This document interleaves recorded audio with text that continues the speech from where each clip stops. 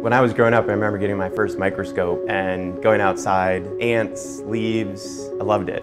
You start to see the microscopic world and how things work and what they're made of, and that was really neat. When I was in graduate school, I had the opportunity to be teaching assistant.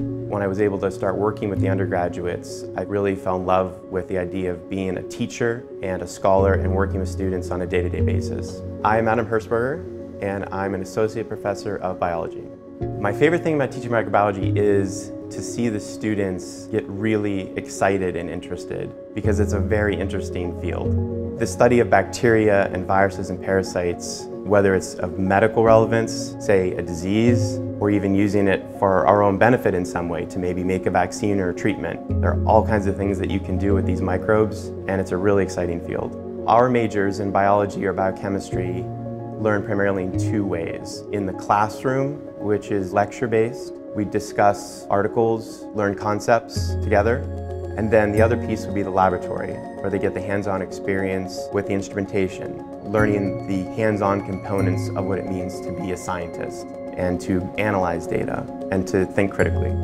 My expectation of students when they come to class is that they have done the reading, they've done the homework, and they're prepared to participate in the activities of that day, whether it's discussing a paper or taking part in a debate. They get the most out of the experience and learn the most when they come prepared.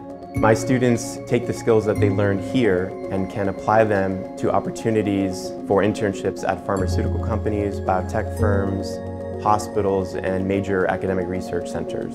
They get a lot of additional hands-on and real-world experience when they do these off-site internships. I've noticed that students at Albright, having gone through the curriculum, gain that experience and they excel in those other opportunities. One of the advantages, and one reason I love being here, is that because of small class sizes, I can identify students who might need encouragement or a little extra help along the way. The thing that I try to do the most is to listen and ask questions. From the information a student gives me, I can maybe help them from my own experience to look at this career or this field or help guide them to some other office on campus where they can learn that information. It feels great to help the students because that's my goal. That's why I'm here.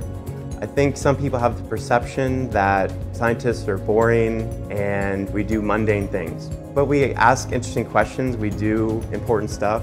When we generate data or we travel, we really get to have fun um, talking about science and about what it means and about our data.